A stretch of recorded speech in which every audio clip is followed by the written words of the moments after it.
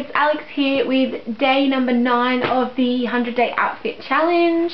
Um, today I went to town and posted a lot of parcels and stuff like that home and then I went to the gym so that's why I look a little bit like shit and I smell really bad but you don't know that.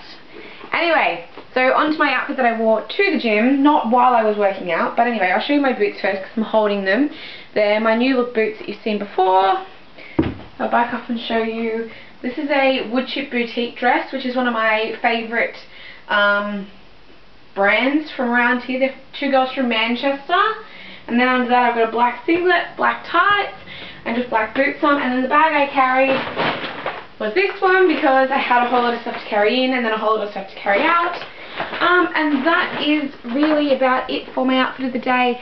So I didn't really do much. I did have my toe watch on but I've taken it off um, now that I've come home and that's really about it. I'm going to film my May favourites, April, May favourites, yeah, May favourites this afternoon and that's all. So I hope everything is good with you guys and I hope you have a wonderful weekend and I'll speak to you over the weekend. So until next time, I'm Alex and I'll speak to you guys soon. Bye!